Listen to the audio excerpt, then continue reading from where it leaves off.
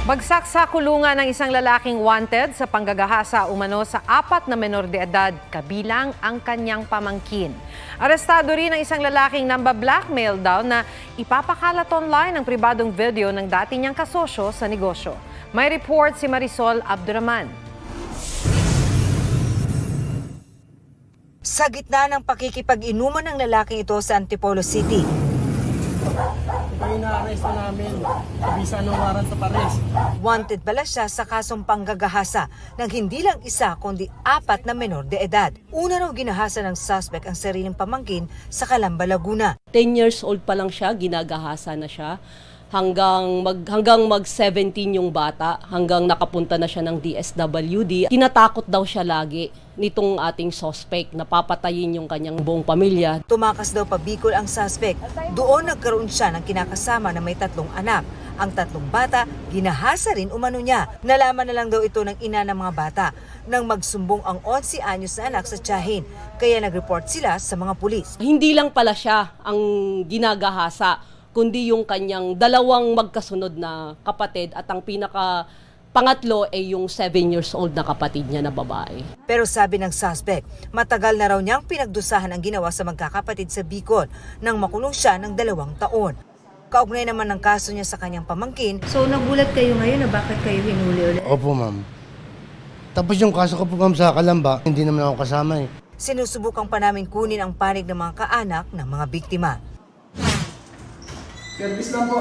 Pagbukas ng silid, Po, po dyan. Ikaw ay na-aresto namin.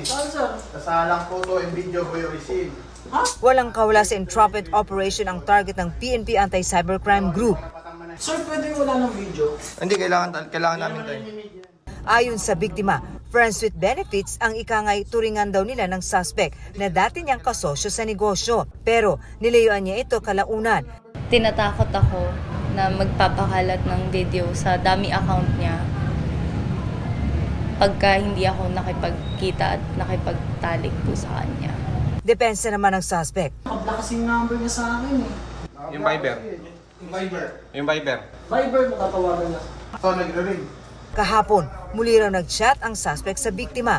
Doon na siya nagsumbong sa mga pulis. Kanina, kinasuhan na ng Anti-Photo and Video Voyeurism Act, paglabag sa vowsy law at grave coercion ang suspect. Wala kang komento. Ah, wala comment.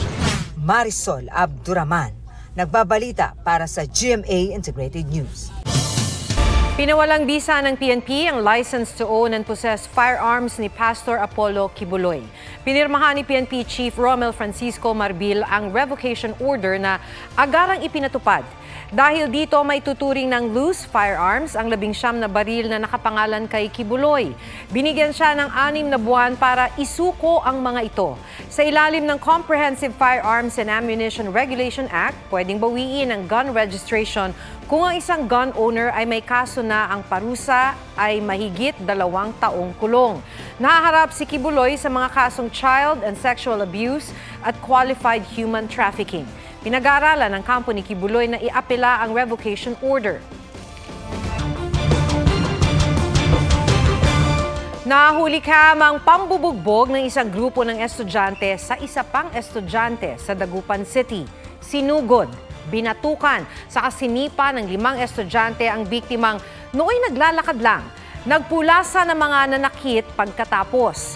Ayon sa magulang ng grade 11 student, pauwi na ang anak na mangyari ang insidente. Hindi raw kilala ng anak ang mga nambugbog na nasa grade 7 at 8. Maayos na ngayon ang lagay ng anak na nakabalik na sa klase. Nakarating na rin sa pamunuan ng eskwelahan ang nangyari. Tumanggi silang magpa-interview pero tiniyak nilang kinakausap na ang mga sangkot pati ang kanilang mga magulang. Tinututukan na raw ng DepEd Region 1 ang insidente. Mahigit 80 ang na food poison sa isang tribal wedding sa South UP, Maguindanao del Sur. Ayon sa Integrated Provincial Health Office, sumakit ang tiyan at nagsuka ang mga biktima. Marami ang isinugod sa ospital. Posibleng dahil sa mainit na panahon, agad na panis ang pagkain sa handaan. Kabilang ang tinatawag na Beniton na may gata. Madali raw kasing masira ang luto sa nyog kapag sobrang init.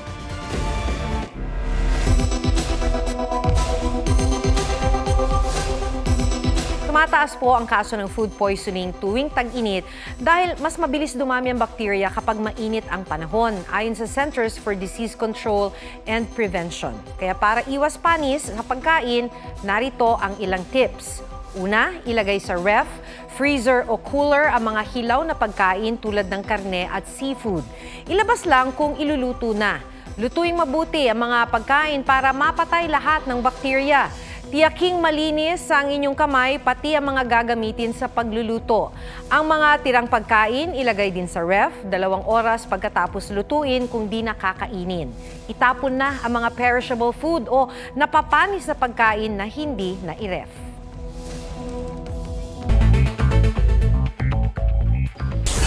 Mga nakahambalang sa ilang kalsada sa Metro Manila, tinarget ng MMDA. Mahigit sandaan ang tinikitan at walong sasakyan ang binatak sa Quezon City. Paghahanda ito sa pagkumpuni ng kamuning flyover sa Mayo. Sa Tagig, sinita ang mga sasakyang alanganin ng parada o naka-standby sa Chino Rosas Avenue Extension kabilang ang isang police mobile. Pag-angkat ng 25,000 metric tons na isda, pinayagan ng Department of Agriculture. Paghahanda ito sa close fishing season mula October 1 to December 31, 2024. Para sa grupong pamalakaya, walang basihan ng pag-import ng isda at makakasama raw sa lokal na industriya. Pinalawak na passenger terminal building ng Batangas Port, pinasinayaan ni Pangulong Marcos. Ang Batangas Port na ang pinakamalaki at pinakamodernong pantalan sa bansa, na may lawak na isa't kalahating ektarya. Bernadette Reyes, nagbabalita para sa GMA Integrated News. Kung kailan mainit, nag-brown out sa isang barangay sa Quezon City matapos mag-overload at magliyab ang linya ng kuryente. Narito po ang aking report.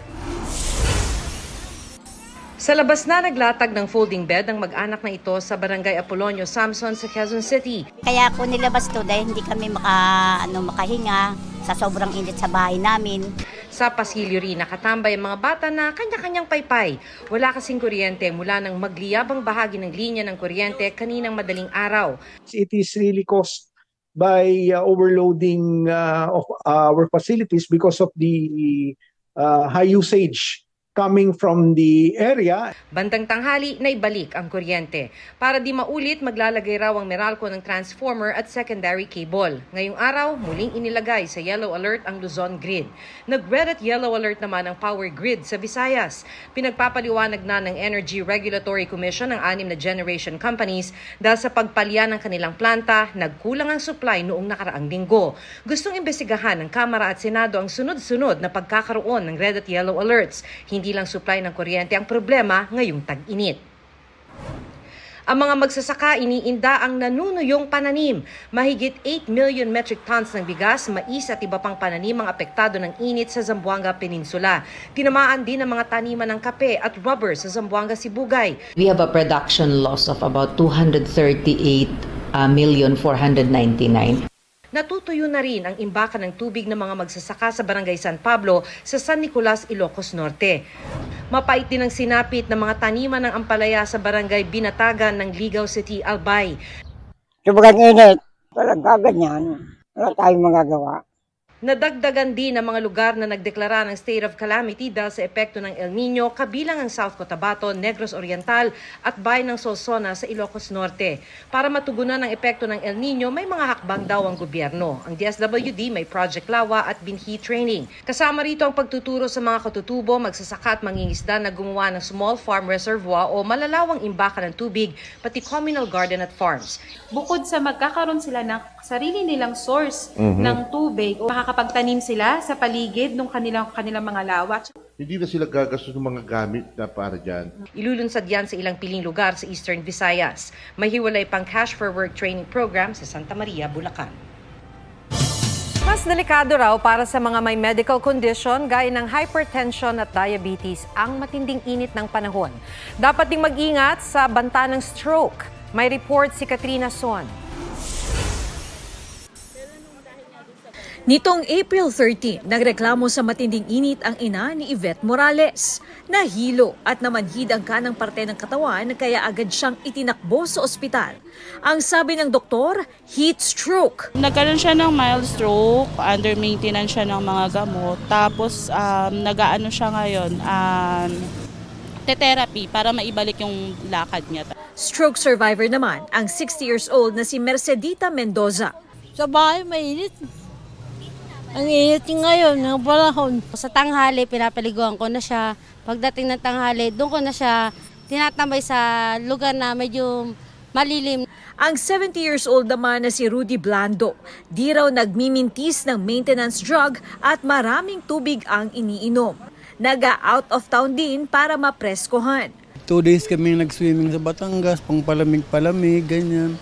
Babala ng eksperto ang mga may pre-existing conditions tulad ng mataas na blood pressure, diabetic, hypertensive at obese, dapat mas mag-iingat ngayong tag-init. Ayon sa Centers for Disease Control and Prevention, delikado ang extreme heat sa lahat pero mas delikado ito para sa may mga chronic medical condition.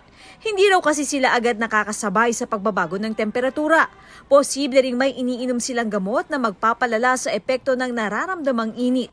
Ang mga obese o overweight, mas mataas ang tsansang mas makaipon ng body heat at ang nakamamatay na epekto ng sobrang init ng panahon, heat stroke. Mas malaki ang chance or um, risk na magkaroon ng tinatawag na stroke, no? Specifically ischemic stroke um, kapag exposed tayo sa sobrang init na panahon. Para maiwasan ito, uminom ng maraming tubig. Iwasang magbabad sa init. Kumain ng masustansyang pagkain at huwag kalimutang inumin ang mga gamot. Even an hour of exposure, no? isang oras ka lang mainitan could give you a 1.5 times risk of developing a stroke. No? And, and that's uh, in general numbers. No? Whether may hypertension ka or wala, may diabetes ka or wala, may previous stroke. Kaya kapag nakakaranas ng pagkautal, pagkawala ng balanse, biglang panlalabo ng mata, pagkahilo at hirap sa pag-iisip at pananalita, agad na magpunta sa pinakamalapit na ospital. Katrina Son, nagbabalita para sa GMA Integrated News. Sa pagpapatuloy ng balikatan exercises, isinagawa ang tinatawag na cross-deck landing sa Sulusi sa Palawan. Lumipad at lumapag ang helicopter ng Philippine Navy mula sa isang barko patungo sa isa pa. Ginawa rin ito ng air assets ng Amerika at France bilang pagsasanay sa pagtanggap ng air assets mula sa mga kaalyado ng Pilipinas. Sa isa namang simulation, isang umaandar na barko ang kunwaring dinalhan ng supply gaya ng pagkain, tubig at krudo ng isa pang barko ng Navy. Mula Sulusi, lilipat ang pagsasanay sa West Philippine Sea, kung saan magsasagawa ng maritime search and rescue exercises.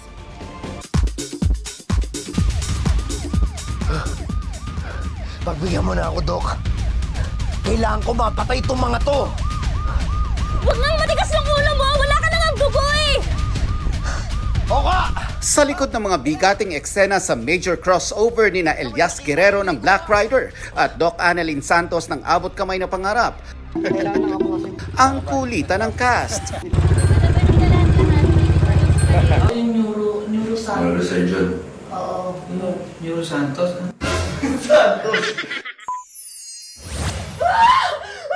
Top rating GMA revenge drama na makiling, pasabog ang finale week.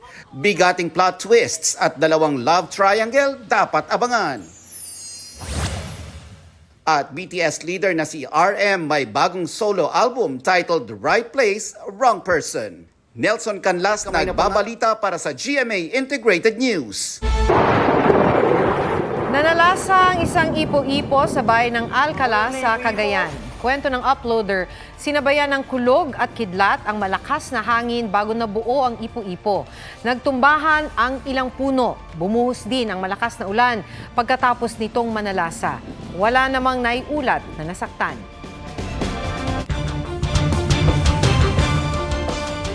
Dalawang menor de edad ang nasawi sa magkahiwalay na insidente ng pamamaril sa loob mismo ng kani-kanilang mga bahay. Sa Dolores Abra, nakahiga sa folding bed ang apat na taong gulang na batang babae at kanyang ama ng pagbabarilin ng hindi patukoy na mga salarin. Patay ang mag-ama. Inaalam pa kung may kinalaman ito sa trabaho ng tatay bilang driver ng munisipyo at nadamay lang ang bata.